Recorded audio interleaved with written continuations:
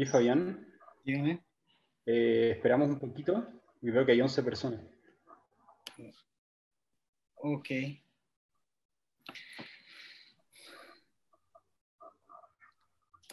So we are we are going to wait for a couple of minutes, a minute or Okay. two. So uh, please, everybody, in the meanwhile, can uh, mute. Um, Like one minute and then.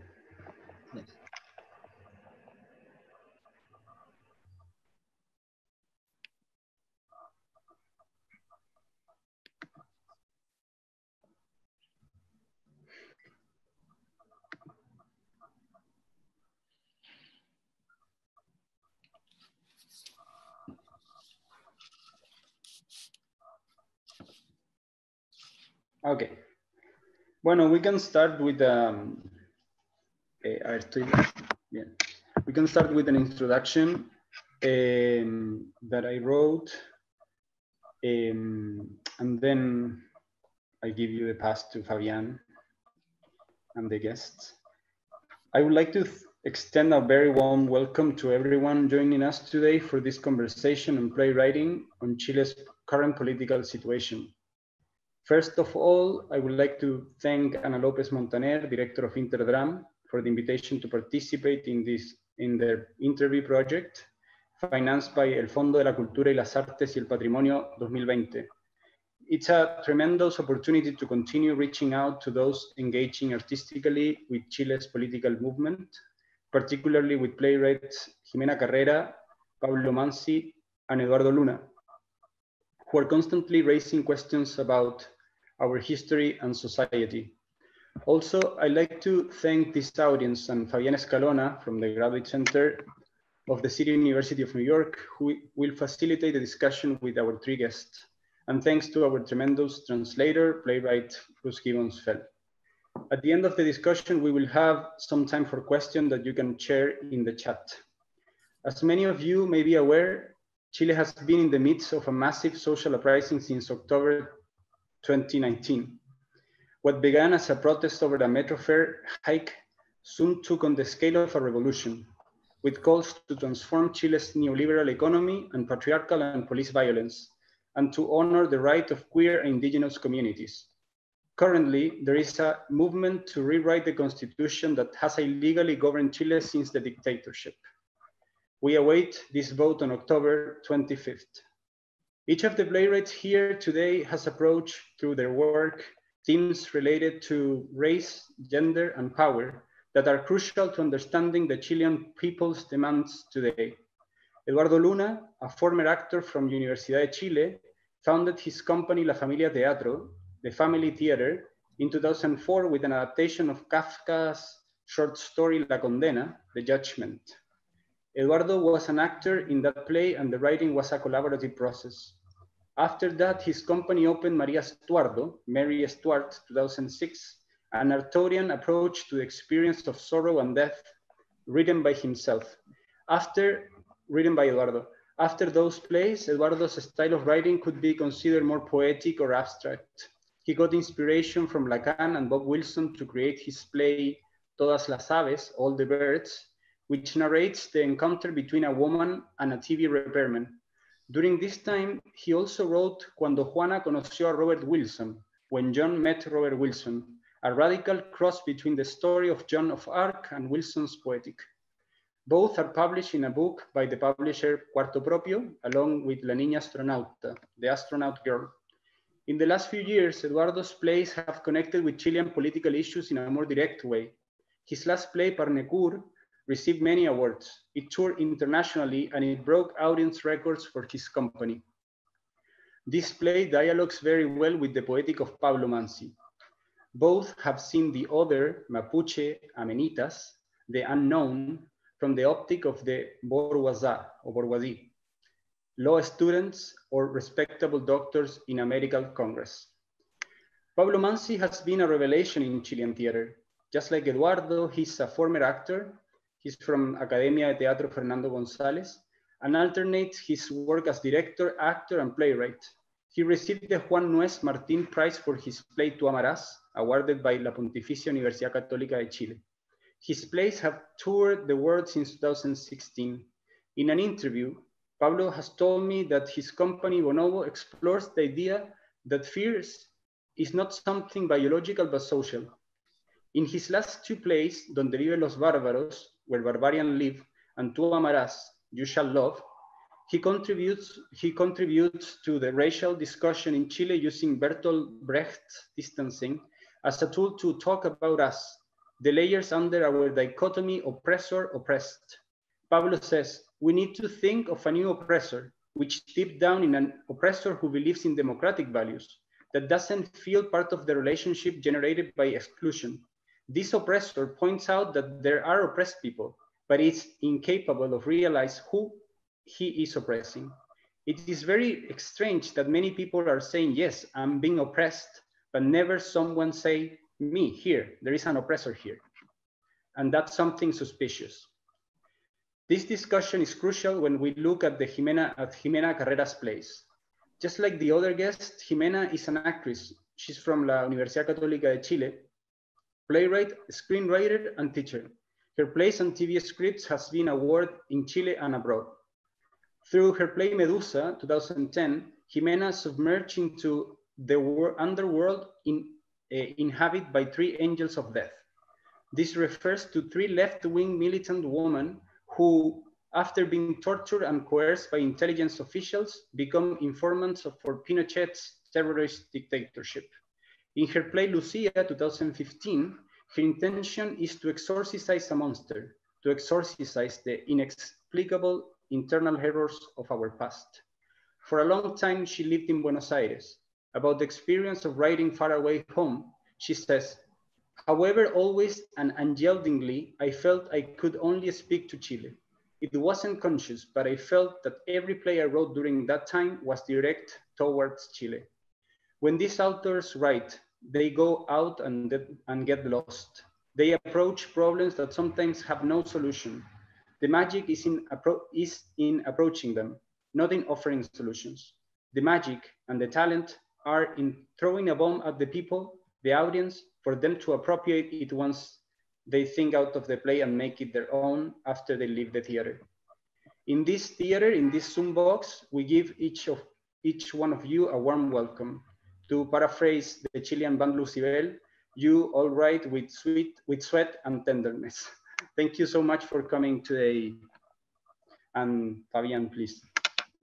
Thank you, Leo, for that wonderful introduction.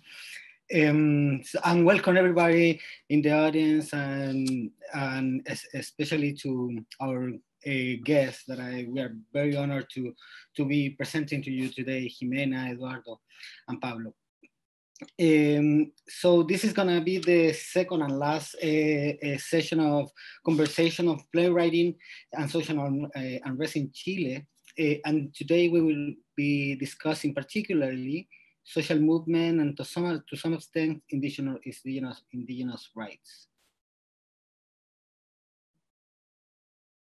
Um, quisiera, Fabián, quisiera bienvenir a todos. Es un honor presentarles aquí a los autores. Esta es la segunda y última sesión y en esta en particular eh, discutiremos el movimiento social y el rol de las comunidades indígenas en este hoy. Um, I would also uh, like to thank you, in, in, Interdram and University of Pennsylvania, and particularly to Holoron for hosting us and doing the amazing job, job that you have been doing for years now. Uh, everybody should check it out. Um, um, so we will be uh, having some conversations now. At the end, we, we are going to have time for, for questions from the audience. Um, but in the meanwhile, uh, please feel free to drop your questions in the box, uh, in the chat uh, as they come to your mind. Uh, we will be reading them after, uh, or we, we can put it into the conversation during the interview. So with all that said, um, I would like to start asking you to, to our guest today, um, how do you see that the role of theater and your own practice as artist, as artists has changed in Chile since last uh, October 18 when the social movement uh, basically sparked. Um, Fabián, eh, quisiera agradecer a UPEN, Interdram y Howlround eh, por ser anfitriones de este evento. Eh, échenle un, ojo a, Howl, a Howlround, está muy bueno. Y vamos a conversar y hacer preguntas del público al final, así que hay una invitación al público para dejar sus preguntas en el chat y las iremos leyendo y tratando de integrar a la conversación. Eh, ahora tenemos una primera pregunta eh, para las dramaturgias invitadas, eh, la cual es, ¿ven que el rol del teatro y su propia práctica artística ha cambiado desde que el movimiento político que comenzó en Chile el 18 de octubre ocurrió?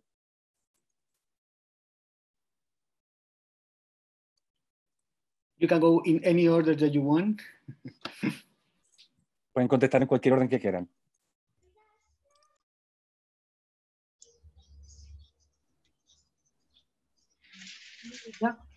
Hacemos un cachipún. A little paper, rock, scissors. La cumpleañera que parta. Okay. Okay, okay, ladies first. Mm. Okay. Um, I would like to welcome everybody here and thank, uh, special thanks to Interdram, Anna, Bruce, Fabian, Leo, for welcoming us here. Um, since what happened here in Chile in October last year was something that has been um, has been growing underneath our our soil. Um, it exploded, and personally, it made me think about my role not only as an as a theater person, but mainly as a human being in this society.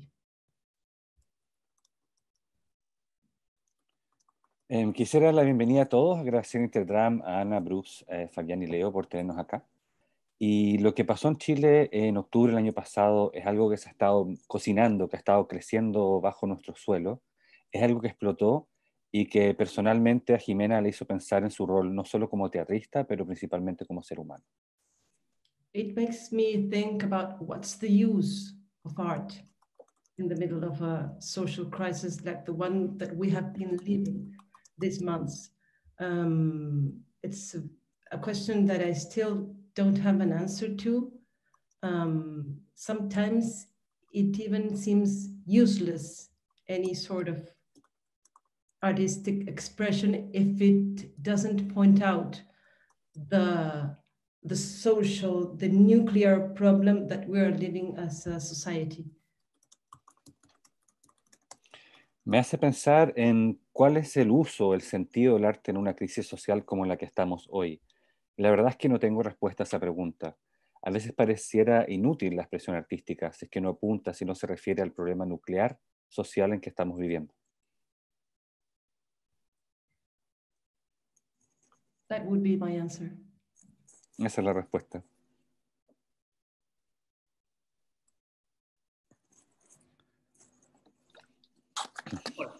Bueno, voy yo. Eh, bueno, hola a todas las personas eh, que están presentes en este foro. Eh, quiero agradecer la invitación y nada, ojalá podamos eh, discutir de cosas que a mí también me resultan muy relevantes en este momento que estamos viviendo. Um, bueno, um, oh, English. So Pablo would like to say hi to everyone in this forum and thank the invitation and the opportunity to talk about uh, relevant things that are happening right now. Bueno, yo creo que hay dos cosas que quizás me interesaría decir.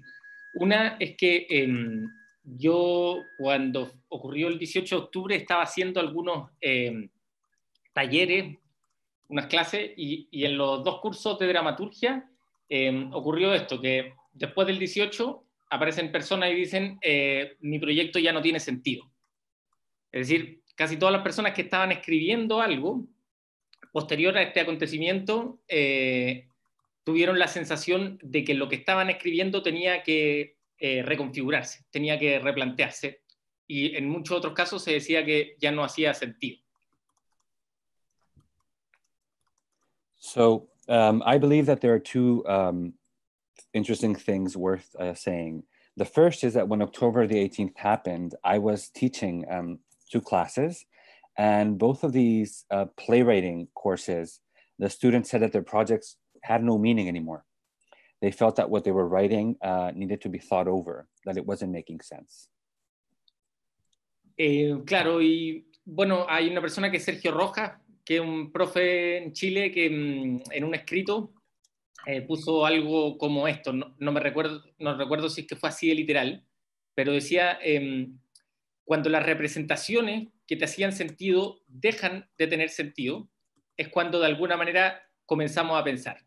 Esto lo decía él a partir de algo que en el fondo decía que muchas personas le decían, ya no sé qué pensar después del 18 de octubre. Es decir, las representaciones que hacían sentido habían dejado de hacerlo y ahí es cuando tenemos que comenzar a pensar. Dice. En el fondo hay que empezar a reconfigurar. Y desde una perspectiva artística, digamos, eh, con la compañía con la que yo trabajo, que es Bonobo, sí nos interesa esta especie de, de idea de, de, de, qué cosas pueden destruir el, el, velo con el que vemos la realidad y que construye nuestra percepción de la normalidad. Y lo que hemos tratado de estudiar es que a veces ocurren acontecimientos que generan una fisura en eso. Eh, y claro, en ese sentido, el 18 de octubre, porque el 18 de octubre vamos a pensarlo como ese primer acontecimiento que ocurre ese día en particular, pero el 18 de octubre como fenómeno total está lleno de pequeños acontecimientos también adentro, por decirlo. Eh, de encontrarse con la violencia, de ver que hay un grupo eh, de la clase política chilena que inmediatamente quiso mandar a las milicias a la calle, y todos esos son acontecimientos que van cambiando o reconfigurando nuestra normalidad. So a teacher in Chile called Sergio Rojas wrote something like that when representations that used to make sense stop making sense is when we somehow begin to think. Now, this is a response uh, to people that were saying that they really didn't know what to think. And this is the moment where we have to um, have a new configuration. We have to rethink the way the way things are. We have a configuration, sorry.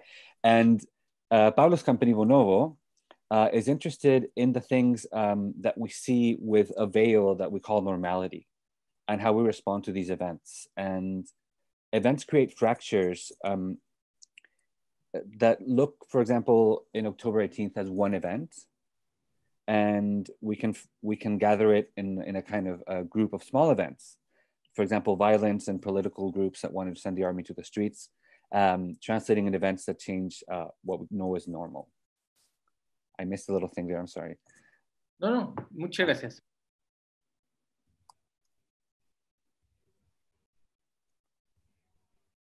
Eh, hola, eh, muchas gracias. También quiero agradecer la invitación. Eh, estoy muy complacido de estar con amigos tan queridos eh, y también junto a Pablo y a la Jimena que les admiro muchísimo.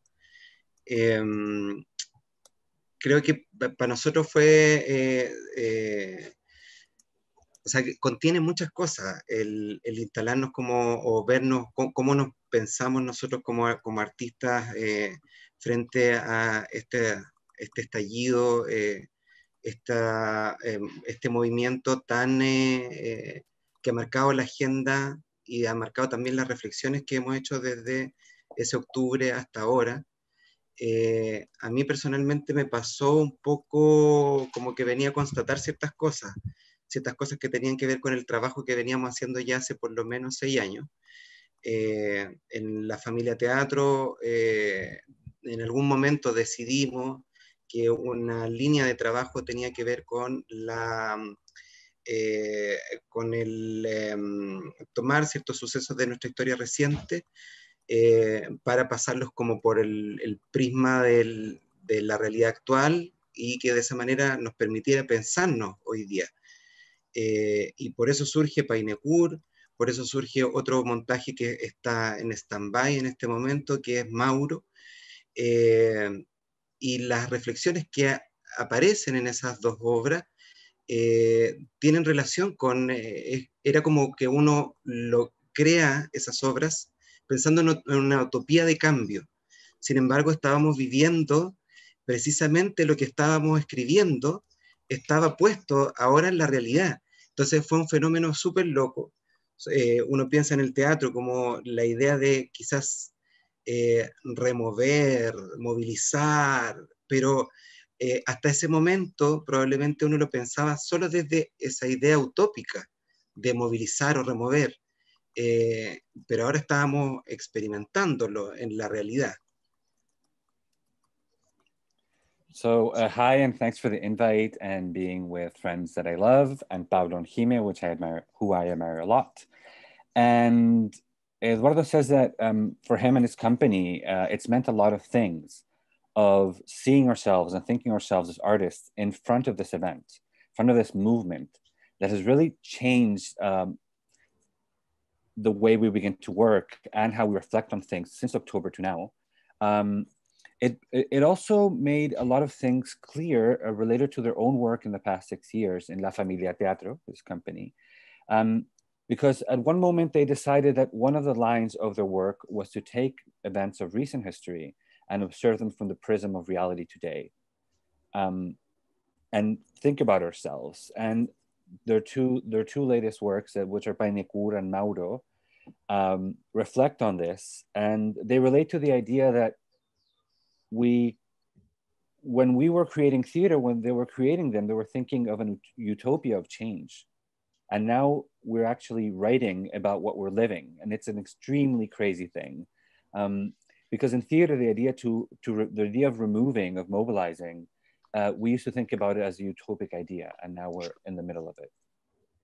Y algo muy bonito que ocurrió fue que eh, muy bonito y revelador fue que claro íbamos nosotros hacemos mucho trabajo territorial vamos a buscar la historia de alguna manera. En Painecur es una historia que ocurre en Puerto Saavedra, al sur de Chile, Mauro en el norte chico de Chile, eh, pero ahora pasaba que los procesos eh, o, ciertas temáticas que aparecían en esas obras y que fueron eh, rescates territoriales,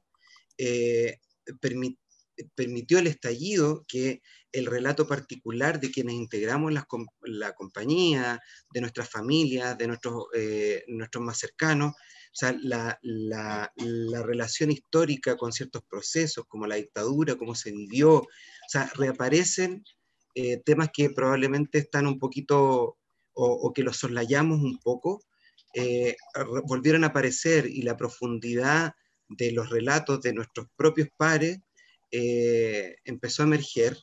Entonces,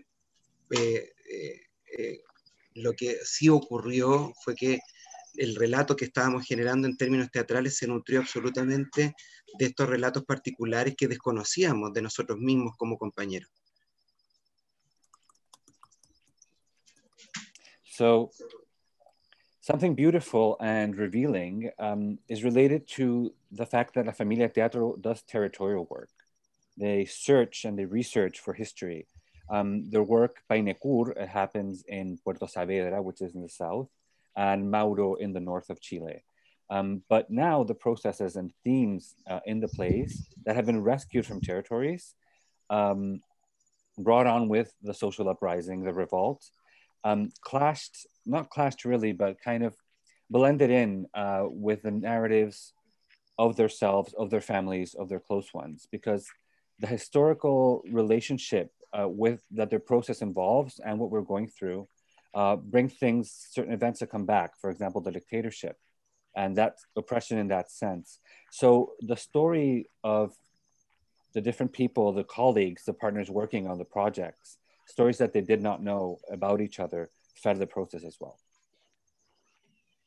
Y lo último que quisiera comentar es que cuando, estábamos, cuando ocurre el estallido, nosotros estábamos montando esta obra Mauro, que es precisamente una, una movilización. La obra está contextualizada en una huelga de hambre en una época actual, eh, una movilización social, eh, una, una, lucha. Y eh, precisamente lo que o lo que queríamos instalar eran las contradicciones de quienes luchan, es como, como el, el, capitalismo ha logrado eh, insertarse de tal manera en el tejido social que la, la, lucha o cómo luchamos hoy día es muy frágil.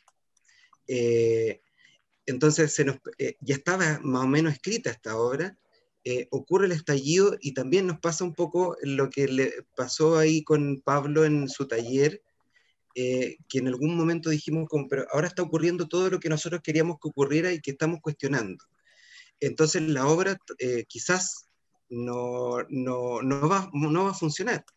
Ahora lo que pasó después es que a medida que va transcurriendo el proceso del estallido, también esas contradicciones, la, lucha individual también aparece, aparece una, o, la fragilidad de quienes luchamos también aparece, entonces nos termina dando la constatación quizás de que el camino era correcto, las reflexiones que, se daban ahí eran las correctas para presentarla a un público eh, que está en un momento donde eh, debemos en colectivo tomar decisiones.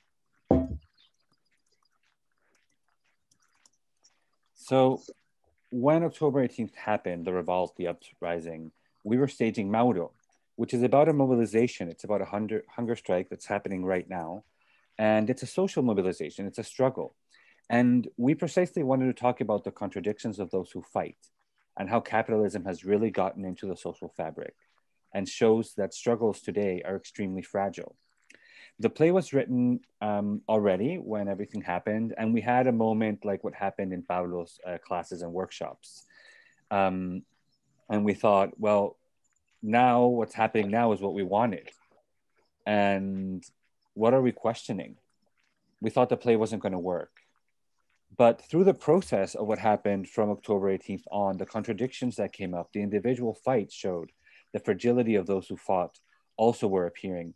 And they told us that the road we were taking was correct, that the reflections were right, because this is for an audience that really needs to make collective decisions.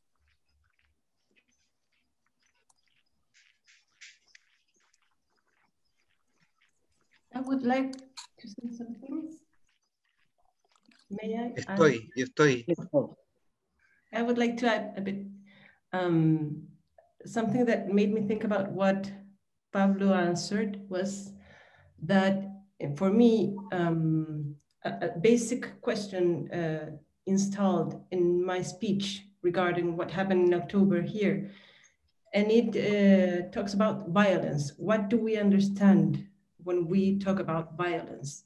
Because at first, many political, many politicians said that the, it wasn't the way to talk about social demands to burn a subway station, but it is quite violent to be living for decades with uh, debts because you don't have something uh, to eat on your table because you don't have the, the enough money to sustain your family. So an essential question regarding violence installs, I guess, in, in, in our national speech.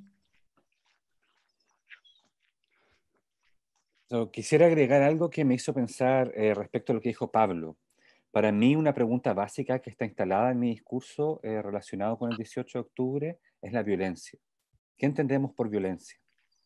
Porque muchos políticos nos decían que no era la manera de exigir las demandas sociales como lo estábamos haciendo, como quemar una estación de metro, pero es algo violento vivir endeudados por décadas, porque no tienes cómo comer, porque no tienes cómo sostener a tu familia.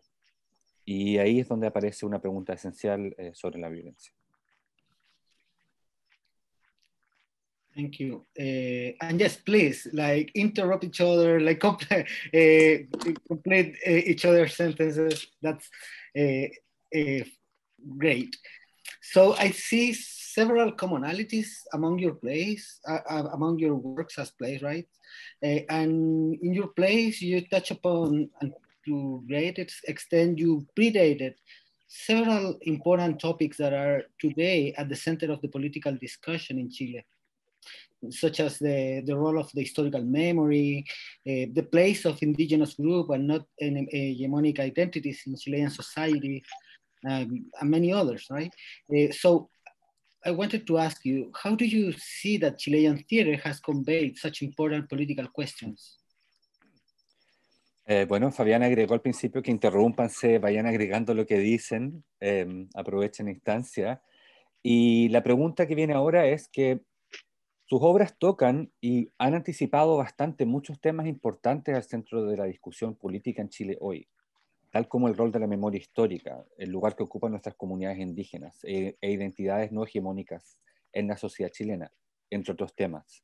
¿De qué manera ven que el teatro chileno ha sido un vehículo de preguntas políticas tan importantes como esta?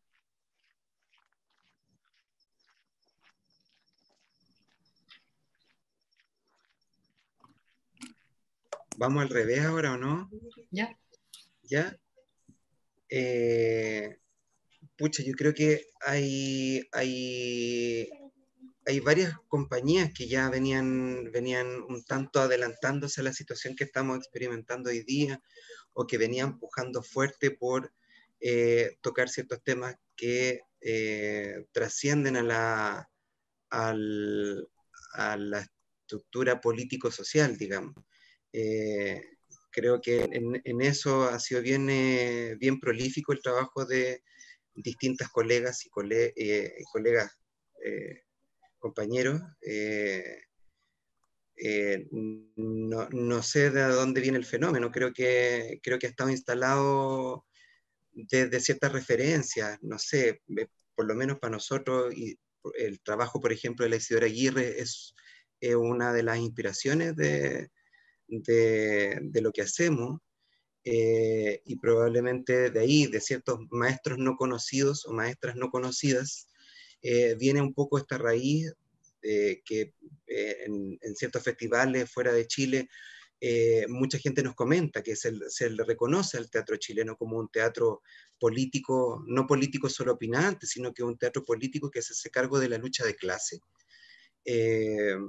y, em, y creo que probablemente por ahí viene esa raíz eh, y se ve muy constatado en, en, las dramaturgias de, no sé, los mismos compañeros y compañeras que están presentes en, en el ciclo de entrevistas de Interdram.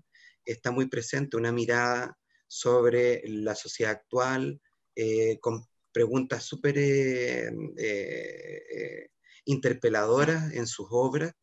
y me parece que es o sea, es, precioso el panorama, me, parece que es muy, muy nutrido el panorama eh, de la dramaturgia chilena actual.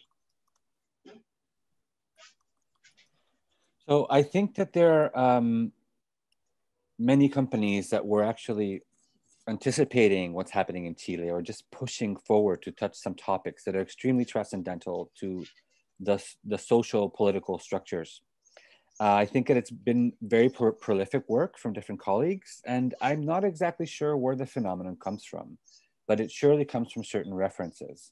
In our case, um, Isidora Aguirre's work is one of the main inspirations for what we do. And there are other, many unknown masters as well in this certain route.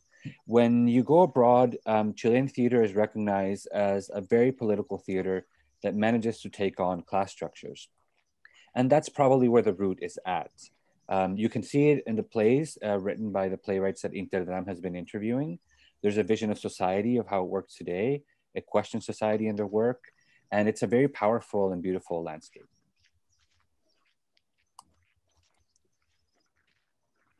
Um, disculpa, ¿terminaste, Eduardo? Sí. Sí, dale nomás, Pablo.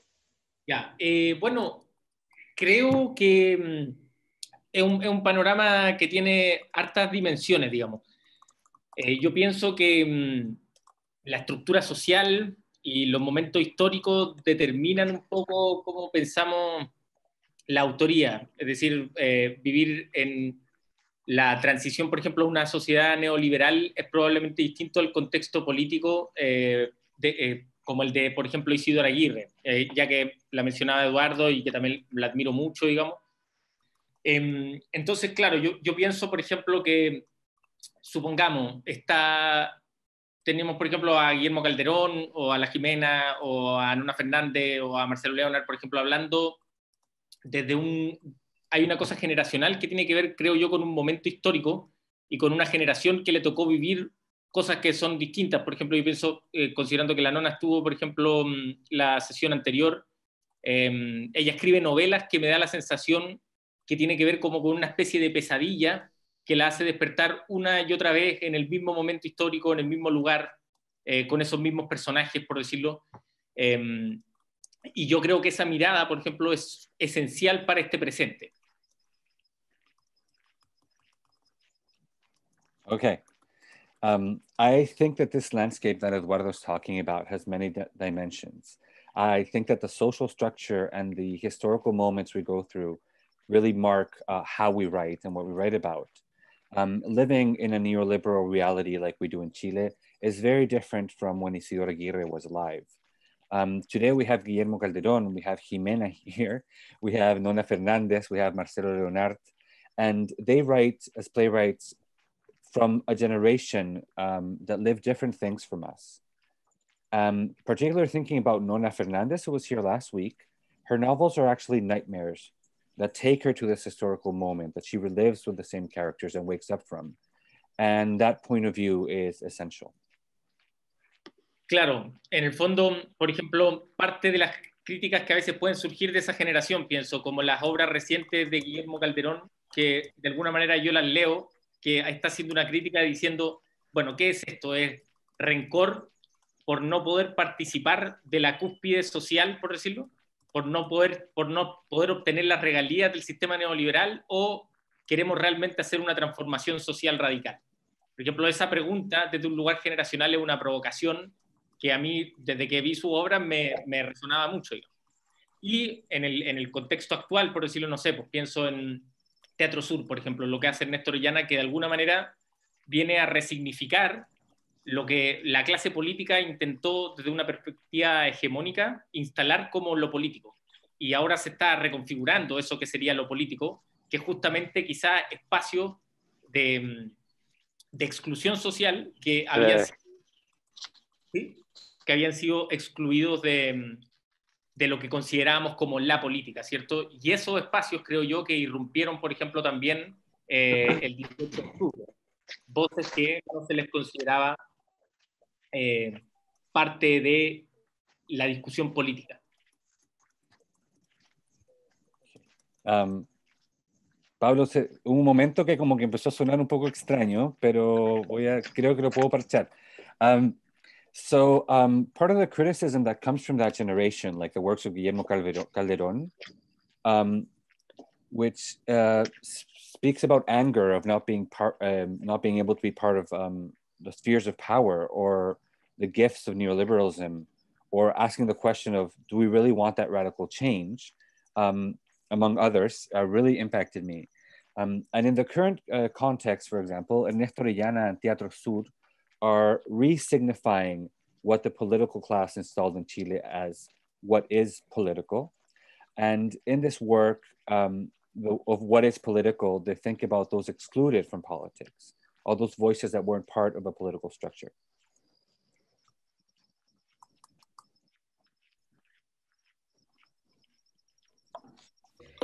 Um, I totally agree with what Lalo and Pablo have, have said there's briefly that I can add to it. It's um, basically that I guess that the Chilean theater has usually been uh, uh, what, what's sort of a characteristic from it for it is it's that um, it usually talks a lot with social reality dialogues uh, with it. Um, I don't know if it's something that happens mainly um, here in Chile and or, or, or if it does, I guess it, it is something that usually happens a lot in, in, in some other dramatic writings in Latin America too. Um, and I guess that,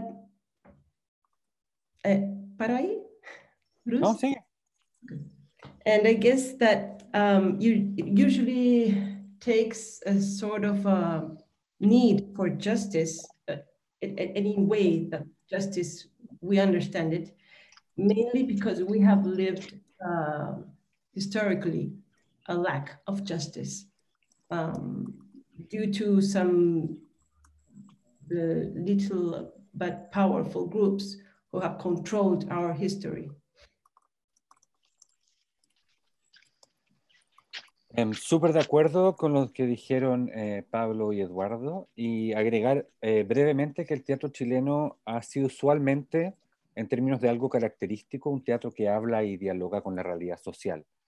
No sé si es algo que pasa principalmente en Chile, pero la verdad es que usualmente pasa en otras dramaturgias, por ejemplo las, las latinoamericanas también. Supongo que lo que se hace es que se toma una necesidad de hacer justicia porque principalmente históricamente hemos vivido una falta de justicia, debido a pequeños grupos, eh, pequeños pero poderosos, eh, que han controlado y han sido capaces de controlar nuestra historia.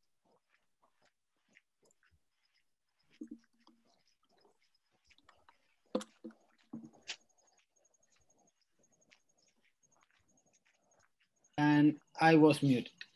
Um, So yeah, uh, just to to point out, um, I think uh, all of you, like both Eduardo and Pablo, uh, mentioned uh, the work of Isidora Aguirre, who was a Chilean playwright from the 60s and uh, a very important uh, Chilean, a woman who was to, great, to a great extent responsible for introducing the works of Bertolt Brecht in Chile, and she was one of the first in doing so in Latin America. Um, bueno, y ya que Pablo y Eduardo Luna um, mencionan a Isidora Aguirre, um, Fabián contextualiza que Isidora Aguirre es una dramaturga importante de Chile de los años 60 y es la responsable eh, de introducir a Brecht a Chile y una de las primeras en Latinoamérica. Uh, so, thank you for those reflections and and I was thinking about uh, other commonalities that I see uh, in your works, uh, and and I think that is one another that I that, that I can see is that you not only put on stage important political issues, but also that you often ask the question for the very possibility of having a unified truth on stage. Um, I am thinking in words like Painecourt or Bonobos Place or Jimenas, uh, where um, where it's hard to get a, to come to an agreement of what is the the truth that is being told on stage. How do you think that the question about the narrative works in your theater as political as a political and as a critical tool? Bueno, muchas gracias eh, por las reflexiones. Y pienso en otra cosa en común que yo veo en su trabajo, eh, lo cual es que no, no solamente significan temas políticos importantes, pero también muchas veces ponen en tela de duda la posibilidad de que exista una sola verdad en escena, una verdad unificada. Pensando en Painecourt, pensando en el trabajo Bonobo, la dramaturgia Jimena, donde muchas veces es difícil llegar a un acuerdo de lo que es la verdad en la obra. Em, ¿Cómo creen que esta pregunta relativa a la narrativa, las narraciones, opera en su teatro como una herramienta crítica? Soy yo. Sí. Em, pido disculpas si es que se escuchan las micros o camiones mucho, ¿ya? Ustedes me avisan si se pierde algo.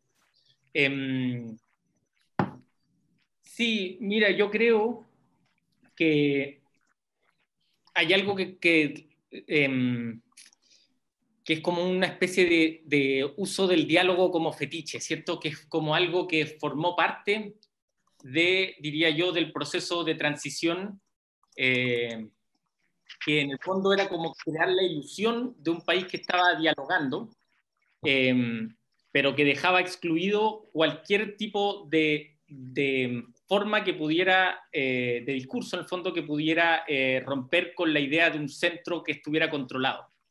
Em, de hecho, esto se podía ver literalmente en, por ejemplo, los debates televisivos, eh, diría yo, hasta casi el 2015. Y generalmente la izquierda estaba absolutamente excluida como una voz posible, justamente como una voz dialogante, ¿cierto? O sea, era excluida del diálogo porque de alguna manera, ¿cómo vamos a dialogar em, de manera mesurada? Con los consensos teniendo alguien de izquierda, y sin embargo sí se podía tener a personas que tal vez pertenecían a una derecha que podría ser considerada eh, más radical. Eh, partamos por ahí. Okay. Um, apologize. Pablo apologizes about buses or trucks. Just let him know. um, if we can hear him well, we have. Um, and Pablo says that I believe that there's something, a somewhat um, use of dialogue as fetishism, uh, something that happened during the process of transition to democracy in Chile uh, was the creation of an illusion of a country that was in dialogue. But it actually excluded any discourse that could break the idea of a controlled center. You could see this in television debates until 2015, give or take, uh, that the left was left out as a voice that could dialogue, a voice that was excluded. The question was, how was the left going to speak in the calm terms that the dialogue was supposed to be? Um, but uh, there was a presence of a more radical right, even though the left was excluded in its radicality. Claro, entonces lo que pienso es que de alguna manera una forma de romper con esta especie de democracia protegida era llevar la idea del diálogo como un espacio de control, en el fondo dialogar para que nada se transforme, a el diálogo como un proceso radical de transformación.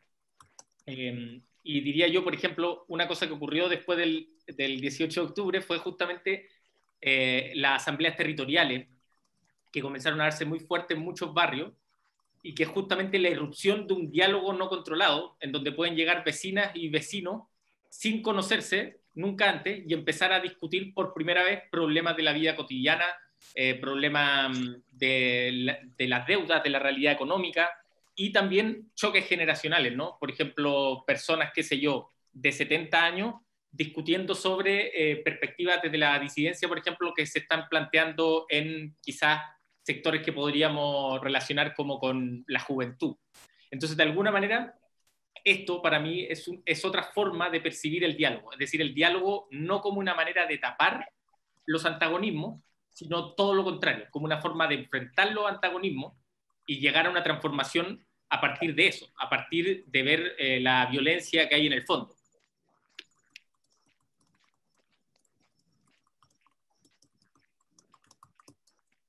You all have such beautiful words. It's really hard because I want to keep like every little precious gem that you that come out of your mouths.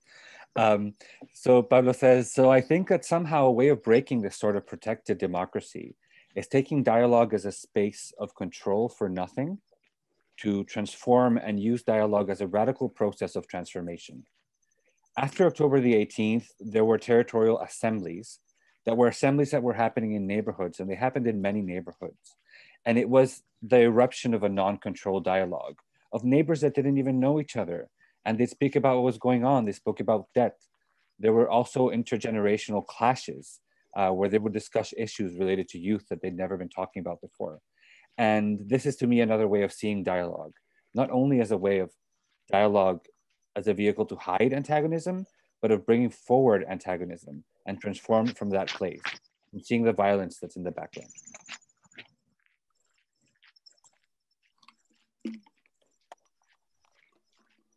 Listo, Paolo? Um, regarding this question about the unified truth, the possibility uh, for me, it works just as a possibility. It's a sort of an inspiration, something that I know somehow I desire, but I will never reach.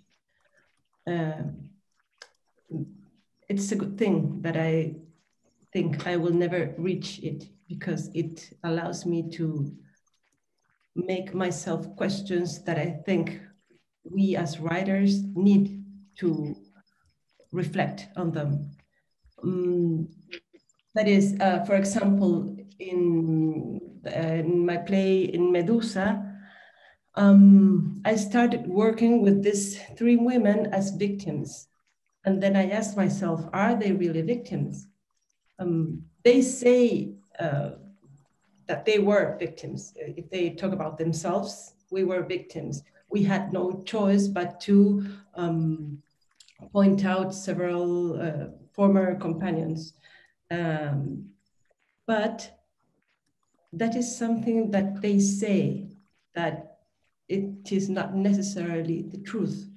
So when I I realized that what a character says is only what he or she or it is saying and not necessarily the truth, then it, uh, sort of a, an explosion comes into my mind because something opens, something that was not, that had not been taught before. Acerca de la pregunta relativa a la verdad unificada, para mí es solo una posibilidad, una inspiración. Es algo que deseo pero que nunca voy a poder alcanzar. Y es algo bueno que nunca lo voy a poder alcanzar. Me permite hacerme preguntas que creo que nosotros como escritores tenemos que reflexionar. Por ejemplo, mi obra Medusa, eh, comencé escribiendo estas tres mujeres como víctimas. Y luego me pregunté, ¿son víctimas? Ellas al hablar de sí mismas dicen que eran víctimas que no tenían ni una otra opción que delatar. Pero eso es algo que ellas dicen, que no es necesariamente verdad. Cuando me di cuenta eh, de que lo que dice un personaje es solo lo que ese personaje está diciendo y no necesariamente la verdad, me explota la mente un poco. Es algo que no se había pensado antes. I think that the something that uh, a fertile soil for me to work on are the green zones where there is no one unique truth. That's it. Creo que una tierra fértil eh, es donde están las preguntas donde no hay una verdad unificada o una sola verdad.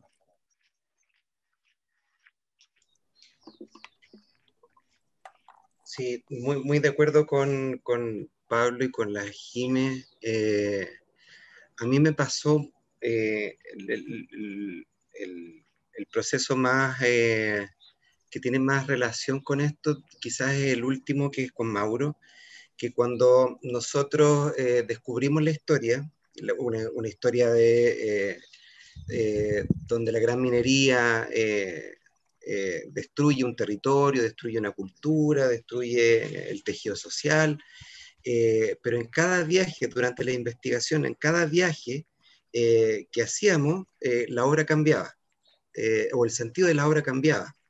En una primera instancia, obviamente, habíamos registrado a nivel periodístico, lo primero, a nivel científico, decíamos, bueno, a, este, a, este, territorio hay que defenderlo de alguna manera o hacerle justicia a la lucha de 20 años de una comunidad. sin embargo, en cada viaje, en cada conversación, la obra cambiaba ya no era una obra sobre la defensa del territorio, sino que también tenía que ver con, con estos puntos de desacuerdo entre la misma comunidad o de, la, o de, dar cuenta de la lucha del pobre contra el pobre. Una de las, de las cosas eh, impactantes para nosotros tenía que ver con quiénes, quiénes son precisamente eh, eh, las personas que suicidan a los dirigentes. y claro, la, la visión eh, más a priori podría ser que son las mismas empresas las que suicidan y no necesariamente es así. En el, territorio que investigamos eran precisamente las cuadrillas, la gente, mm, eh, el trabajador más, eh, más precarizado de la empresa que recibe, qué sé yo, un sueldo que no ha recibido nunca antes en una mina, con, donde su labor es eh, en términos de horas de trabajo es muy poco, pero como es peligroso, debe ser así.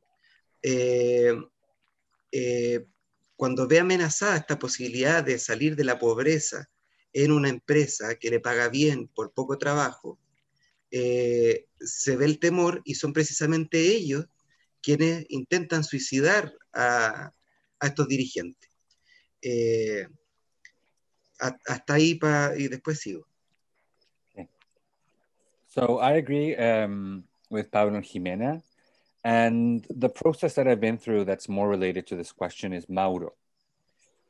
When we discovered the story we were going to write about, um, it's a story about big mining companies destroying territory, destroying culture, destroying the social fabric.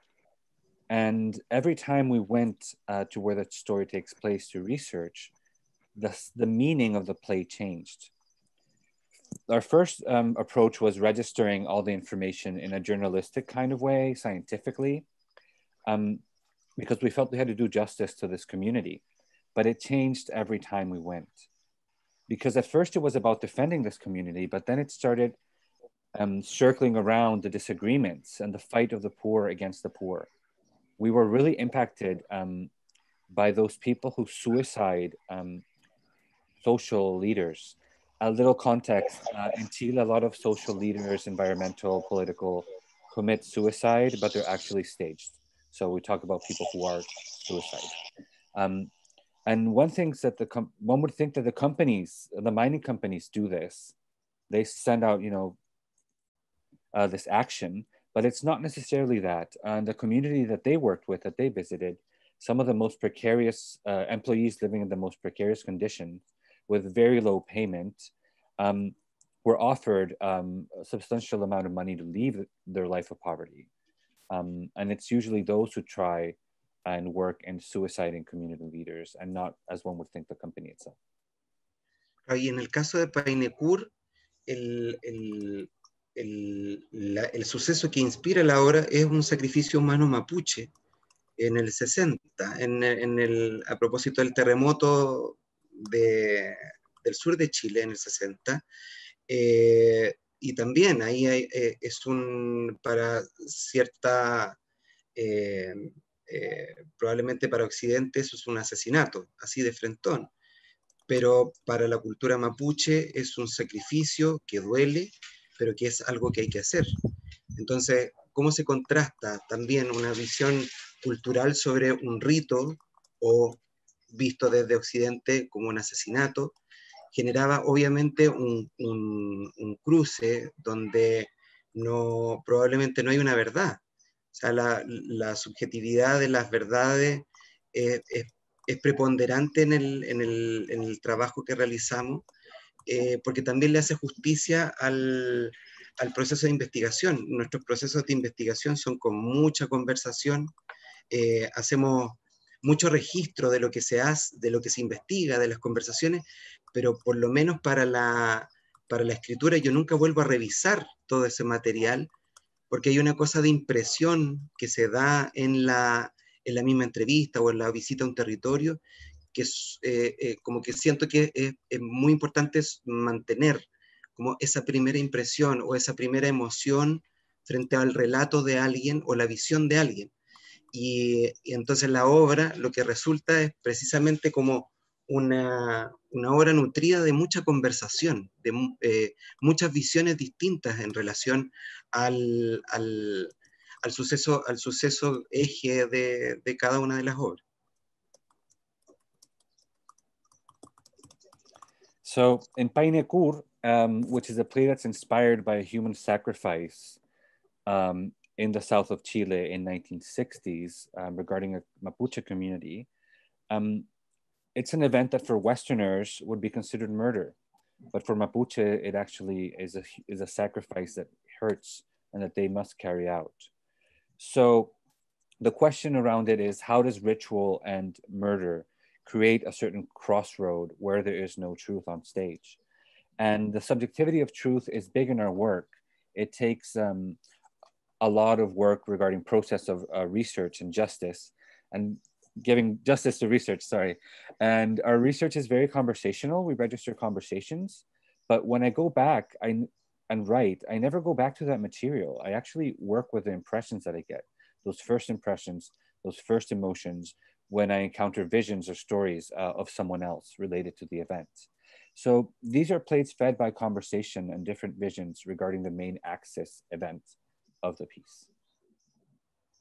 Sí, y para finalizar, creo que en la eh, creo que en el instalar eh, más bien contradicciones, eh, creo que hay un, un, punto relevante en, el, en, el, en, el, en, la idea de interpelar al espectador. Nosotros mismos en la investigación nos sentimos interpelados, como pensamos cuál es nuestra posición frente a uno u otro tema que aparece.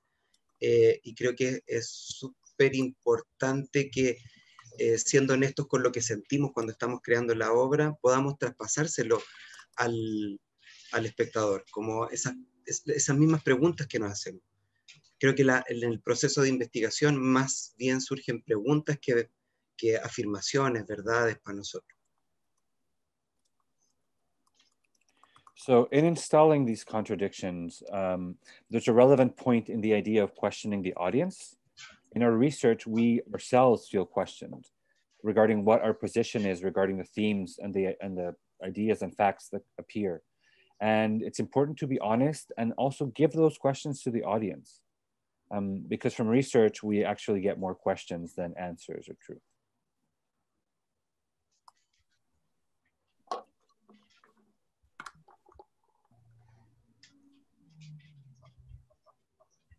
Well, we have some, we have a question from the audience. Um, it's a question from Natalia.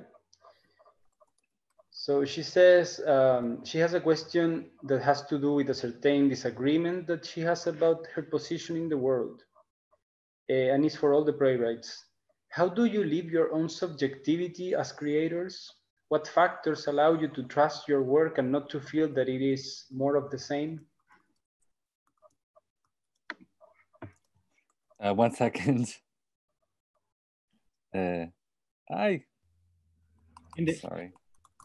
in the meanwhile, listo. Eh, bueno, Natalia les hace una pregunta aquí en el chat y su pregunta tiene que ver con cierto desacuerdo eh, que ella tiene respecto a su posición en el mundo. ¿Cómo viven sus subjetivi- subjetividades como creadores? Eh, ¿Qué factores les permiten confiar en su trabajo y, y pensar que no es más de lo mismo? Eh, a Natalilla le voy a responder en castellano porque claramente habla castellano. Eh, Lalo, Eduardo, yo lo hago así porque lo, está, lo tengo acá al lado. Sí, sí. Lalo recién hablaba de parte del proceso creativo en Painecur, eh, eh, rescatando de manera muy eh, fuerte aquella primera impresión. Luego hay mucha investigación, probablemente hay, hay eh, afirmaciones y contraafirmaciones. Sin embargo, en relación a esa, a esa primera impresión de la que habla Lalo, y un poco lo que tú estás planteando, Natalilla, ese, ese impulso creador, yo creo que no hay que soltarlo, es lo que nos sostiene de manera irrevocable, yo diría, aunque no tenga lógica, aunque ni tú misma lo entiendas, eh, de dónde salió, de dónde surge o por qué surge, yo creo que hay que sostenerlo, pero aferrarse a ese impulso creador siempre. Eh, ¿Qué factores inciden en que una pueda confiar en la propia obra y no es, que no es más de lo mismo, básicamente, que la obra que se te ocurrió a ti? Y esa obra es única y te hace un sentido a ti. Y eso es el, el- motor que te hace avanzar.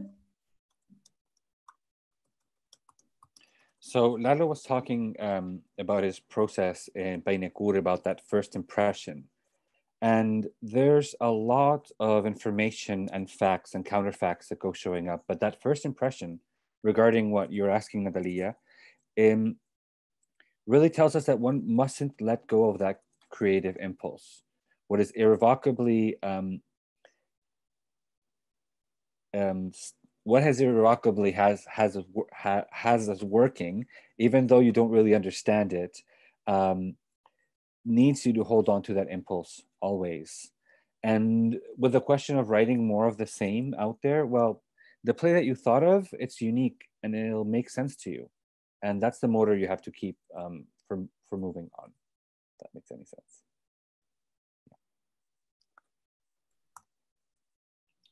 Thank you for that. Um, so I want to remind everybody that you could drop your questions in the box and we are going to read them to the playwrights. I think, uh, Leo, you have another question? Um, yes, I have a question for Pablo. Eh, la voy a hacer en español también, por la evidencia, ¿no? Eh, me quedé pensando, Pablo, eh, cuando, cuando estaba escribiendo la introducción sobre tu trabajo, yo, yo dije, eh, él utiliza un, un recurso brechtiano en sus obras para distanciar, eh, digamos, la escena, la acción de Chile y hablar de Chile. Eh, me quedé pensando, ¿estoy, ¿estoy en lo correcto? ¿Así lo ves tú o ves que es otro el, el dispositivo escénico? Me gustaría si puedes hablar de eso, en particular en donde viven los bárbaros y tú amarás. So, uh, summarizing the question. So, when Leo was um, writing the introduction um, for today and talk and writing about Pablo's work, he talked about Brecht and the idea of Pablo's work distancing from Chile um, in terms of theatricality and talking about Chile itself. Uh, do you agree, Pablo, especially related to your works, um, Donde viven los bárbaros and Tú amarás? Sí, yo creo que hay, un, hay una intención de extrañamiento eh, que para mí tiene, un, eh, tiene una necesidad que es bien concreta, digamos, que eh, yo creo que tengo una especie de sí, llamémosle obsesión con el tema de, em, como de, cómo puedo comunicarme con una comunidad y, por decirlo, que las cosas se resignifiquen, que puedan volver a escucharse. Em, siempre pienso como en esta idea de que cuando, por ejemplo, cuando, cuando están los debates presidenciales, se dice que hay un último debate antes de, de las elecciones y me acuerdo que leía esto una vez como un análisis del último debate y que estaba registrado como en estadísticas, decían ahí, que en el fondo era muy difícil cambiar la percepción del votante en ese debate. Básicamente lo que se hacía era corroborar la idea del votante y decirle, anda a votar por mí, pero yo ya a esa altura no voy a poder cambiar esa percepción. Eh, partamos por ahí. The answer is yes. Um... okay, this is my Brechtian translation in English. I think I'll get it. So there's an alienation that to me has a concrete need. I think I have a sort of obsession with how we can communicate with a community and resignify things and have people listen to each other. In presidential debates, there's always one debate that's right before the elections. And I read an analysis of the last debate, a lot of numbers and stuff like that. And I read that it was really hard to change the perception of the voters in that last debate. All it does is just support their conviction. Claro, entonces finalmente lo que creo es que muchas veces estamos tratando de corroborar nuestra percepción de la realidad más que que lleguen elementos de la, de la realidad que estén resignificando lo que creemos. Por eso cuando partimos hablando del acontecimiento, el acontecimiento muchas veces lo que logra es suspender mi percepción de la realidad. Y eso es para mí el momento en que empezamos a escuchar. Eh, para mí el teatro, ojalá, ojalá pudiera lograr eso, en fondo esa suspensión eh, de mis creencias y poder como volver a escuchar en ese momento, que las cosas se me vuelvan a aparecer, como cuando aparece un fantasma, ¿cierto? Eso. Okay. Um, so what I think is that many times we are trying to actually um, um, corroborate our perception of reality. Um, when we should try to resignify things, as I was saying earlier. Um, regarding events, events suspend our perception of reality, and that's exactly when we start to listen. And I wish theater could get to that point of suspension, uh, to listening again. Like when things come up, when things appear, also like kind of like a ghost shows up.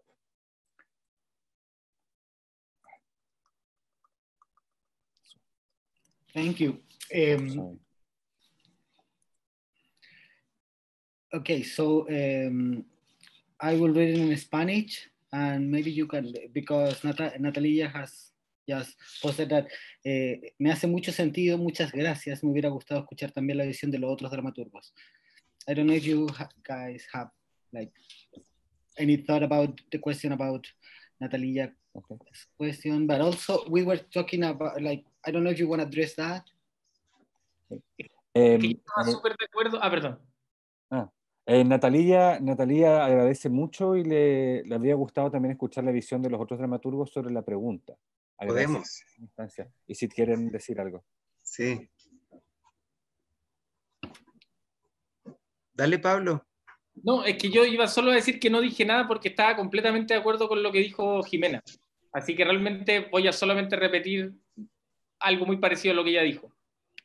So Pablo agrees completely with what Jimena says. So he will actually just would repeat uh, something similar to what she said. Sí, eh, también muy de acuerdo con la Jimena, quizás solo agregar que eh, em, es súper importante como abrazar el, cuán particulares somos cada uno o cada una de nosotras. Eh, lo mismo que decía delante, como el, el, cómo, el cómo se traspasa, por ejemplo, el proceso de investigación. Nosotros nos investigamos como tesistas, investigamos como creadores eh, teatrales. Entonces, ahí la, articulación de del discurso eh, que proviene de conversaciones es súper particular. Por eso te o sea, decía adelante que, em, que nunca vuelvo a revisar, pero eso es una cuestión de uno.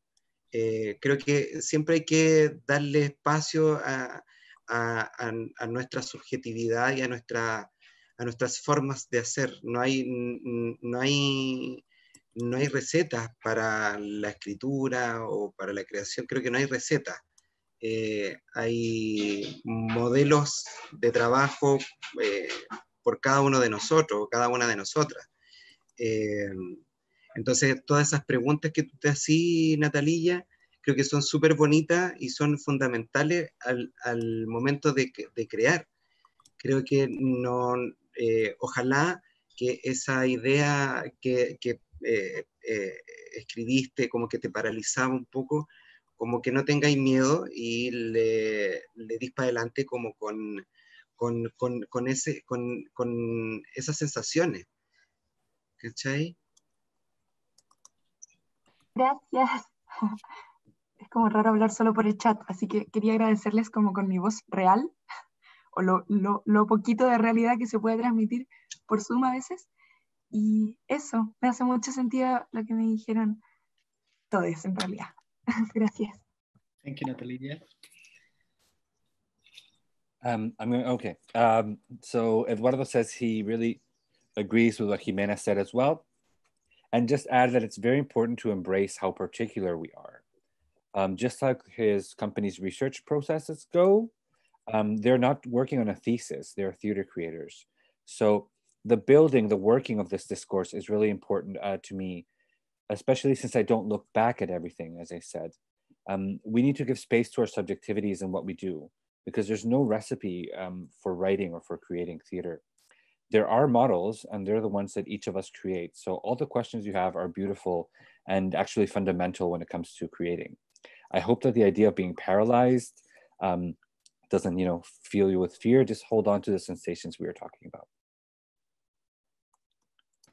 Bien, tenemos una pregunta también de Jennifer Thompson. Eh, ella, ella pregunta para, para todos. How does your work within a company impact both your playwriting and your trajectory as an artist? And what are the challenges to maintaining a theater company in Chile? Ok, em, Jennifer em, Thompson pregunta, ¿cómo creen que su trabajo dentro de una compañía eh, afectan tanto su dramaturgia como su trayectoria como artistas? ¿Y cuáles son los desafíos de tener, una, tener y mantener una compañía teatral en Chile?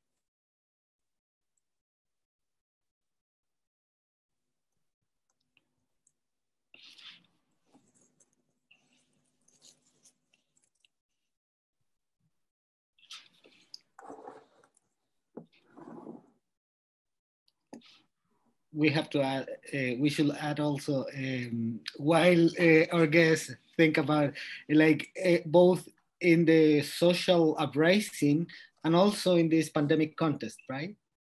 Claro, eh, y agregar dentro del estallido social y el contexto de la pandemia COVID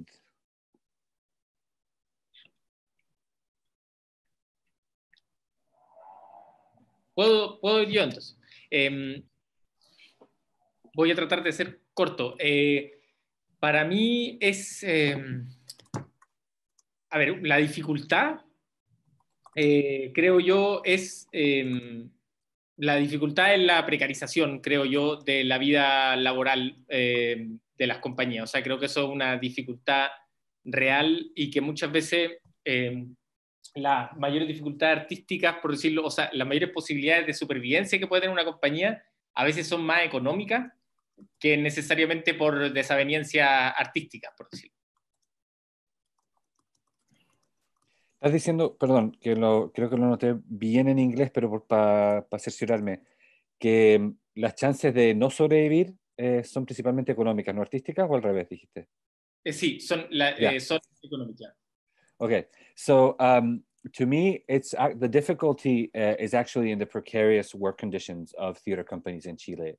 It's extremely difficult, and the um, companies uh, usually do not survive uh, due to economic reasons and not actually to artistic ones.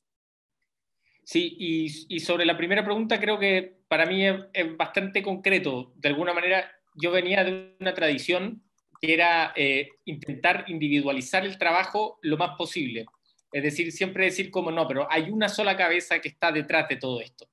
Y eso, y el trabajo con la compañía ha sido una forma de resignificar lo que comprendemos como autoría, como una autoría individual, y en el fondo lo veo como una manera de, dañar, de ensuciar, de rasgar esa como especie de idea sacralizada de, de lo particular, ¿cierto? En el fondo yo pienso que aquí no es que haya que negar la particularidad, de hecho, todo lo contrario, pero la particularidad está siempre en relación a la comunidad y está siendo dañada, modificada, transformada por eso. So, and regarding the first question, there's something really concrete. I come from a school where every you have to individualize your work as much as possible. Like there's only one head behind this creation, and working with a company has really resignified that where it's a challenge, but you go, uh, everyone goes learning and you learn how to damage and um, mess up and rip that idea of what is particular. And particularity is not a bad thing, but it must be in function of a society.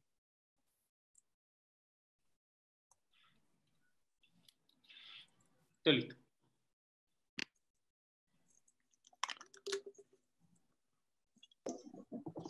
Querir Jime, voy ya. Eh, nosotros tenemos una compañía que lleva 16 años de trayectoria, lo que no quiere decir que es el nombre. No necesariamente son las mismas personas las que llevamos 16 años.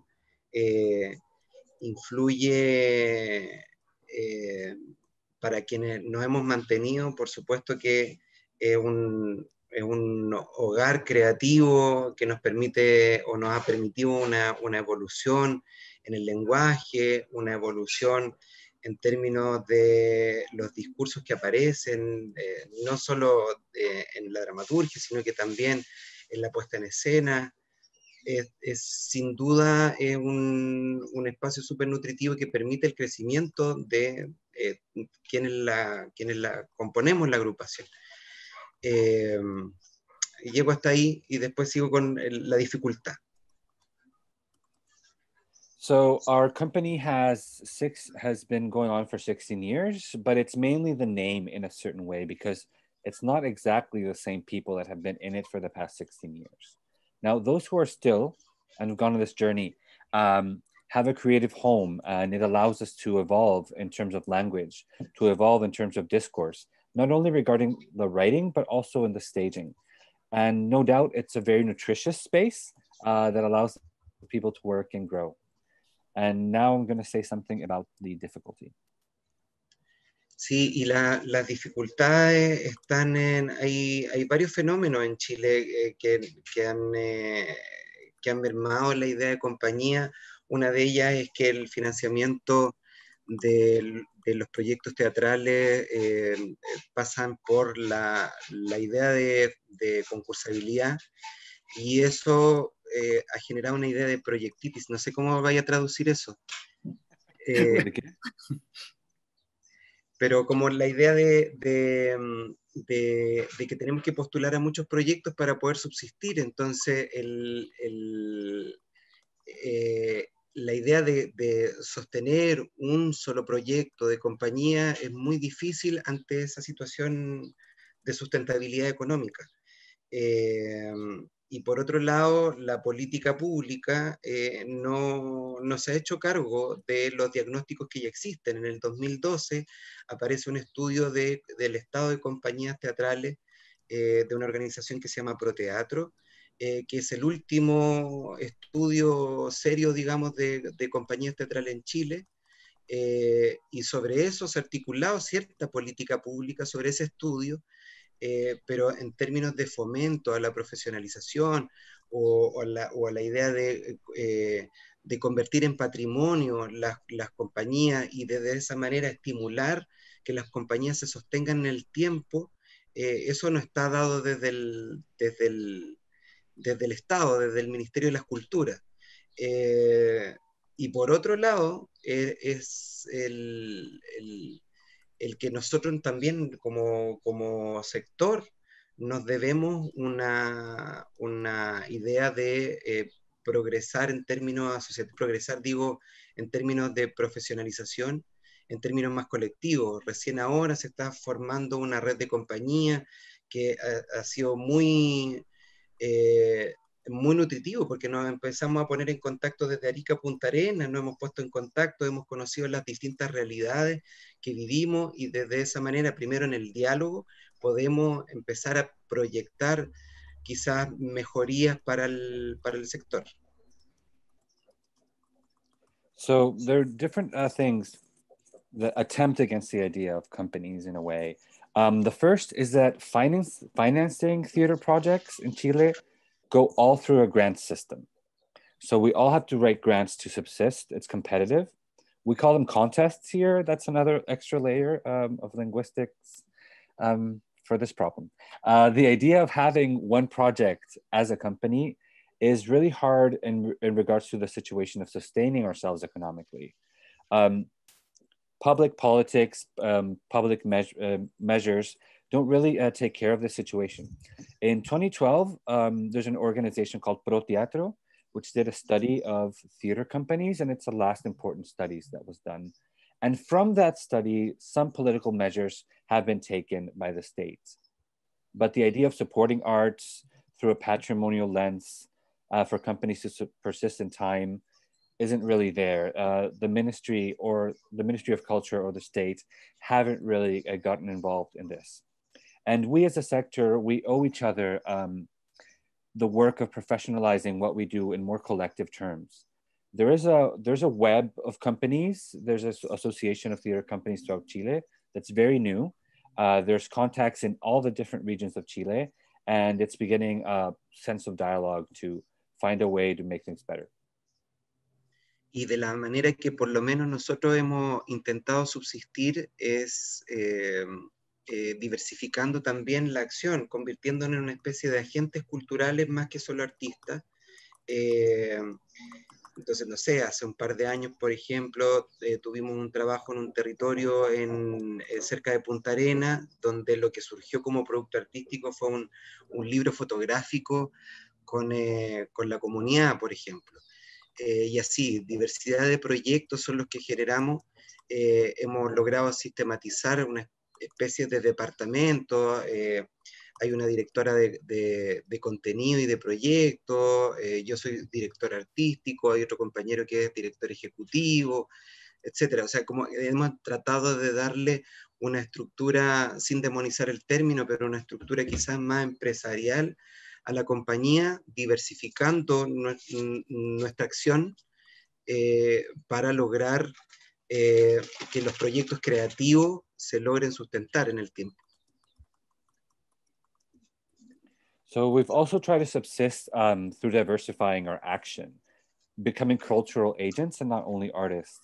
Uh, some years ago, for example, we worked in a territory near Punta Arenas, which is in Patagonia, and it ended in a photo book um, that we created with the community. So diversifying projects help.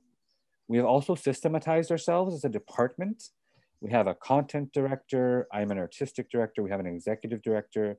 So in a way, without demonizing the word, but we do have a business model now uh, to manage creative process and let our company live throughout time.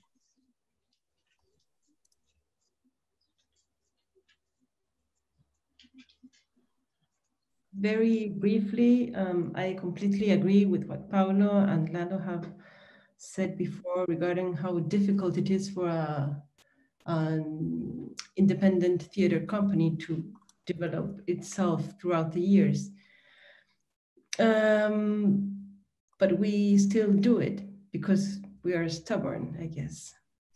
But um, for me personally, I have worked also with different companies. Uh, they have, for example, asked me to write a dramatic text regarding certain theme. And it has allowed me to develop uh, different tools that I didn't know I could develop. Um, for example, working with Trio Teatro Banda also or Ñeque Teatral have uh, allowed me to, to explore different ways of approaching uh, theater, uh, not the usual one that I, that I mostly develop.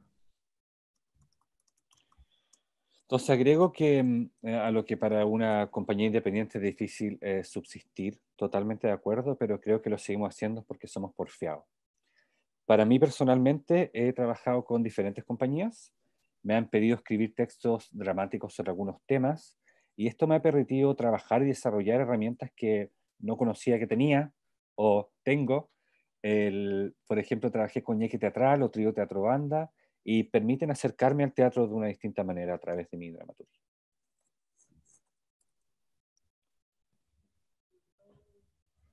Okay, thank you for the for those answers.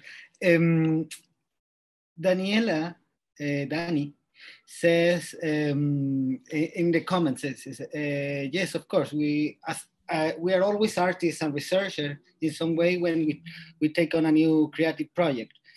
And yes, of course, she said, I agree, it is our difference and subjectivities what are the key.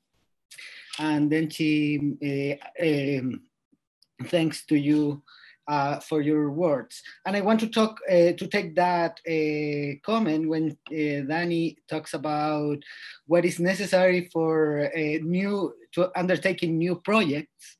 Uh, to ask my final question, I will say like, if you would like to talk about uh, a little bit about what are you working on right now? What are your next projects or what is the, how do you see the future in your work from now? Um, bueno, um, Fabián leyó algo que dijo Dani en el chat, eh, que dijo, siempre somos artistas investigadores de algún modo cuando abordamos un nuevo proyecto creativo. Y sí, pues, coincido, nuestras diferencias de subjetividades son clave hermoso lo que han expresado, agradezco a los dramaturgues, las dramaturgues y a esta instancia. Y Fabián, a propósito de eso, quiere agregar eh, una última pregunta, eh, que es si quisieran hablar un poquito de lo que están haciendo ahora en su trabajo, en su dramaturgia. ¿En qué andan? Exacto. ¿Parto? Yes, Jimena, please. I am I have, uh, um, I'm writing right now a play inspired in Claudio Arrau. It's a Chilean international uh, piano player, um, a very important one. And he is, um, it has it's something that, regarding the question that Jennifer did, something that I would have never have written. Uh, I mean, I, I it, it would have never occurred to me to write a play about Arau. But it was uh, something that I was asked to do. And it's funny, it's been very funny. It's been very difficult. It's been very strange too. But it allows me to explore things and, and make myself questions that I would have never done. I, I'm even um, trying to learn how to play the piano right now. So um, that's part of the, the, the, work that I am developing as a, as a playwright. And also I am part of the WPIC, it's a Women Playwrights International Conference that will be taking place on Montreal 2022. Um, and it um, it's basically an, an, an moment to gather around women playwrights around the world. So I am working as a representative for um, women playwrights in Latin America because for the last conference, we opened a big space for Latin American women playwrights. So we're still developing that work. Eh, estoy escribiendo una obra inspirada en Claudio Arrau, pianista chileno, importante internacional, y es algo que nunca hubiera escrito, nunca se me hubiera ocurrido, pero me pidieron hacerlo. Y ha sido entretenido, ha sido difícil, ha sido extraño, pero me permite preguntarme cosas que nunca había hecho. Incluso estoy tratando de aprender cómo tocar el piano. Eso tiene mi trabajo ocupado como dramaturga. Y también soy parte estoy trabajando para el Women, Women's Playwright International de Montreal 2022 Em, que es un momento donde, un evento donde se reúnen mujeres dramaturgas de todo el mundo. Soy representante de Latinoamérica em, y el último, la última versión de Women's Play International se abrió un gran espacio para las dramaturgas latinoamericanas.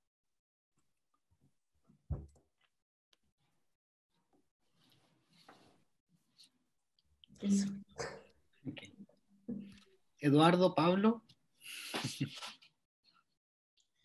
Eh, yo estoy en eh, eh, tres proyectos dramatúrgicos. Uno, bueno, uno es Mauro porque no, no se ha estrenado, se tenía que estrenar el 4 de junio. y el estreno para mí es como el dejar de, editar. Así que todavía estamos en ese proceso de edición.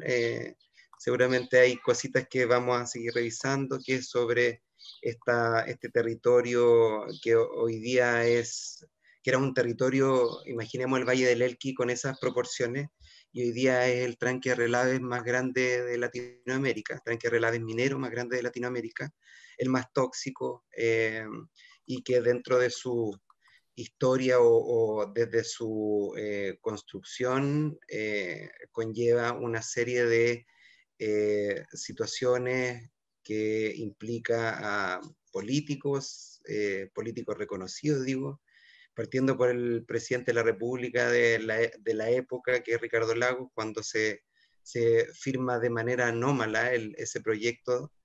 Eh, estoy eh, también voy a empezar a coescribir una, una, obra con mi pareja, con la Pali Pavé, que se llama Levitas, que es sobre violencia de género en la iglesia pentecostal chilena. Em, y un proyecto que se llama Coriolano 2073, que sí ya, eh, ya está eh, comenzado, que ahí hay una idea bonita como de, del paradigma de lo que viene hacia el futuro, eh, que es esta colaboración entre compañías.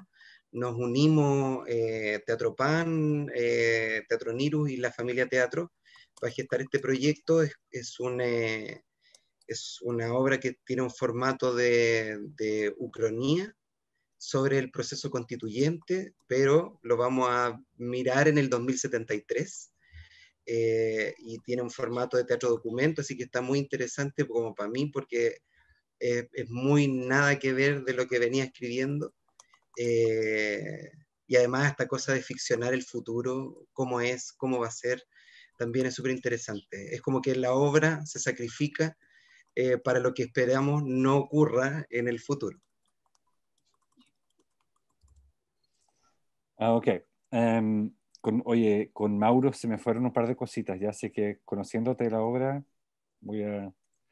Eh, I, I'll freestyle. So I'm in three projects as a playwright. First, we have Mauro. Um, it had to premiere on June 4th and obviously couldn't. So I stopped editing on opening night. which means that I'm still revising. It's about a territory in northern Chile. It's a quite a big space. And one of the reasons I don't have exactly everything that Eduardo said right now is because it's about a relave minero. And so, a tranque de relave minero, which is actually called a tailing. It's a. ¿Puedes explicarme lo que es un relave? Es una, una olla es como una, mm, una, una especie de olla natural o que se crea eh, con eh, desechos, desechos minerales mm, altamente tóxicos. Okay, so uh, it's about a territory in northern Chile where a mining company has set the biggest um, tranqueira in the world, which is a sort of um, natural or not natural pot uh, filled with um, mineral toxic waste and how it's affected this community where there's a hunger strike. There's a lot of private interest um, from politicians in Chile, including uh, past president. Um, and that's what he's kind of been working on right now. Uh, he talked a little bit about the research that they did over there. Um, there's also Levitas that he's writing with his partner, Pali Paves, which is about gender violence in the Pentecostal church in Chile. And finally, he has Coriolano 20, 2073, which is a kind of semi-versioning, I suppose, of Coriolanus by William Shakespeare, uh, which works as a paradigm of what's, what's coming in the future. He's working with two other companies, um, as well as his own, and it has a uchronic structure. So it takes on what's happening today, but sets it in 2073. So creating a fiction about the future is interesting, has never done it, and the play actually sacrifices itself uh, for what's coming later. Eso. Bueno, yo, eh, pido disculpas por haberme movido antes que el, el, cable que cargaba no estaba funcionando.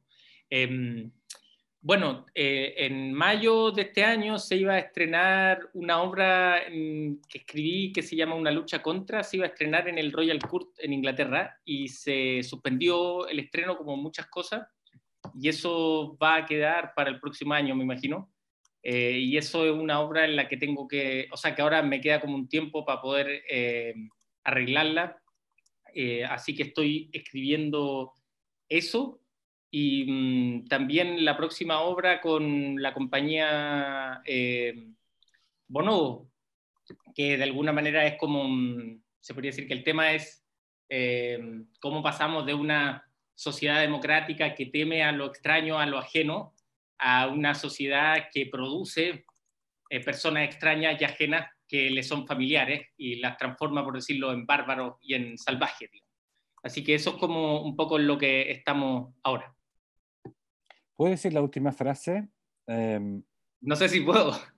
O sea, no, ¿Cómo, no, cómo sé pasamos? Si es que pero- está hermoso. Eh, se Ah. casó traductor. ¿Cómo, Pero- ¿Cómo pasamos de una sociedad democrática que tiene miedo a lo que es extraño y ajeno y pasamos a una sociedad Claro, eh, una sociedad en el fondo que le teme a lo salvaje y a lo bárbaro que viene de afuera de la ciudad, a una ciudad que transforma a personas que le resultan familiares, personas que construyeron la ciudad, la transforma en salvaje, en bárbaro, en extraño. Okay, voy a resumir un poco. So uh, the cable wasn't working, and I would apologize for that. Um, so in May uh, this year, I was premiering a play. It's called Una lucha contra, which I will venture. A Fight to say- Against se llama. Fight Against, that's un té. Fight Against. Um, and it was going to premiere in the Royal Court Theatre in London, but because of COVID, they suspended it till the next year. And Pablo has that way more time to work on revisions and writing that and the next play with his company, Bonobo. And the topic is how do we go from a democratic society or city that is afraid of what is strange and foreign to a city that changes people into savages, barbarians, etc. ¿Tiene título? No tiene. No No. title. Okay. Okay, thank you so much. Um, we are excited. I mean, I am excited to see those works uh, as soon as they came out. Um, so I think that that that that is like pretty much the end of our conversation. I want to everybody in the audience to check out uh, the webpage of Interdram when where you can see uh, uh, interviews of uh, Eduardo, Pablo, and Jimena, and, uh, and all other um, playwrights, playwrights, playwrights that had uh, participated in this event, and many others. Um, Bruce? Yes. Ah, okay. Ah, está esperando que. Okay, I, I can go on. Yeah, Uh, and finally, I want to thank uh, to Interdram, uh, University of Pennsylvania, all around uh, for uh, uh, having us here. I want to thank again Jimena, Eduardo, and Pablo for this uh, this amazing conversation, and to Ana, Ana Lopez, Leonardo, and Jennifer, and to you, Bruce, for doing this amazing job of translating us. Um, and thank you so much for uh, tuning in, and I hope this uh, happens again. Bueno, um, gracias. Quiero ver todas las obras que dijeron y se acaba la entrevista que estamos haciendo aquí. Um, que le echen un ojo, vean la página Interdram eh, para ver las entrevistas que se han hecho. Eh, a ustedes tres, como también a más personas eh, que escriben teatro en Chile. Eh, agradecer a Jimena, a Pablo, a Eduardo por estar aquí hoy día. y también a Ana López, a Jennifer, a Leo, a mí y en general a todos dando un cierre. Gracias por sintonizar y ojalá podamos tener una instancia como esta luego. Thank you. Muchas gracias. Bye.